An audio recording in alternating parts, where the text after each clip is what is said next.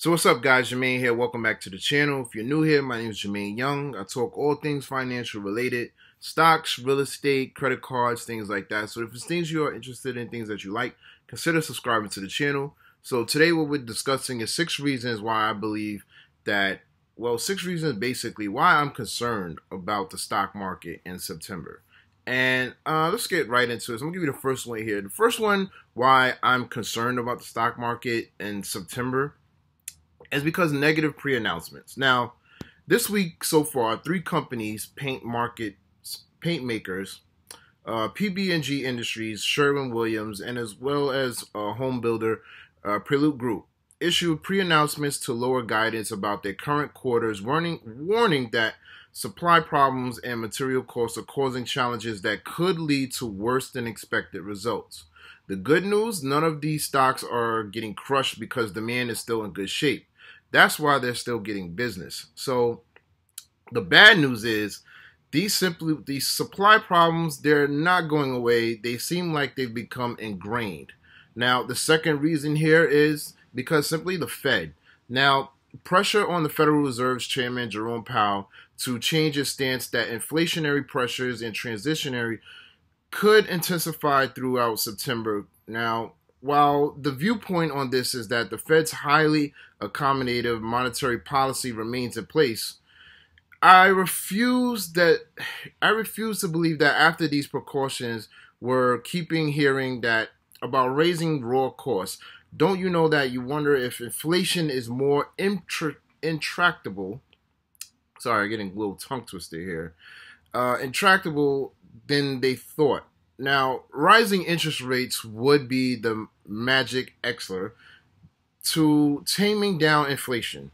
But they do know that destroying demand that crushes earnings, which in turns crushes stocks.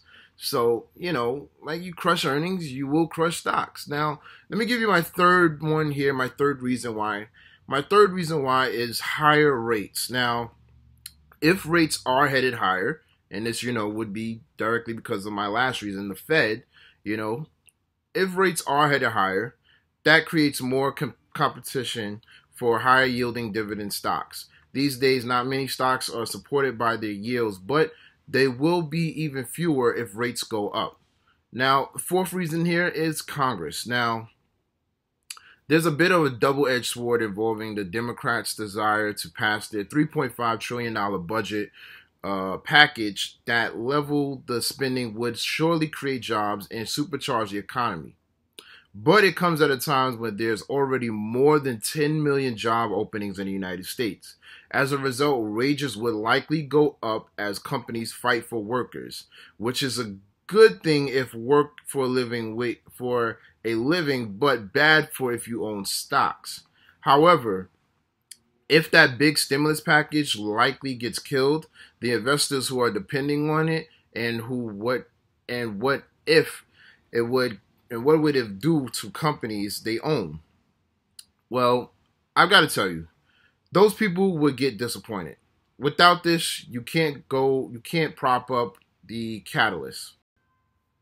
So the next one here, my fifth reason is a fresh supply of stocks. Now, new companies going public through special purpose acquisition companies or traditional IPOs are heading supply of the stock market, which can serve as a wet blanket dousing the fire of buyers. Now, of course, this IPO cycle will eventually play out like they always do, with a lower sell off. I'm sorry, with a sell off that lowers oil prices to levels where stocks are more attractive. We can't seem to stop this deal flow.